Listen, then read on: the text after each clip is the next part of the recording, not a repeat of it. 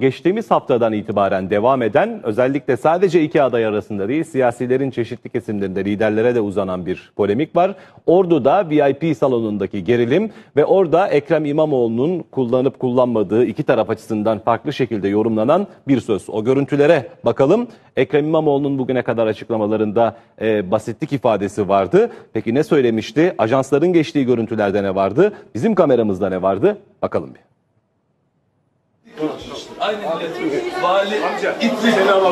İşte geçtiğimiz haftadan bu yana gündemdeki görüntüler. CHP'nin İstanbul Büyükşehir Belediye Başkan adayı Ekrem İmamoğlu, Ordu Havalimanı'nda polislerle konuşuyor.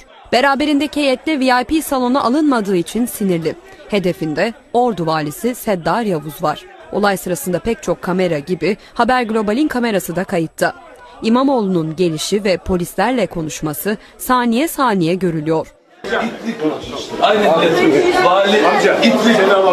Bu görüntüler VIP gerginliğinin yaşandığı gün ve ertesindeki vali soruşturması haberlerinde Haber Global ekranlarına yansıdı. Ancak montaj tartışmasını alevlendiren pazar günü ajansların geçtiği görüntüler oldu. İmamoğlu'nun düzenlediği basın toplantısında hakaret edip etmediğine yönelik net bir yanıt vermemesi özellikle sosyal medyada montaj tartışmalarını alevlendirdi. Ben 20 konuşma yaptım o gün. Tam 20 konuşma.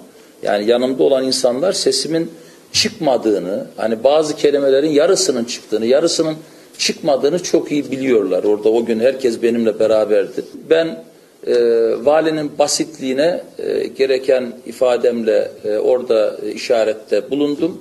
Polisin ne anladığı ne anlamadığı beni ilgilendirmiyor. Oysa görüntülerde İmamoğlu'nun valiye tepkisi net bir biçimde görünüyor.